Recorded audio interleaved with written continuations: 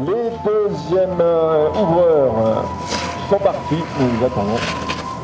Nous attaquerons par par le 16e de finale homme de cette Coupe de France de snowboard cross à Chamonix.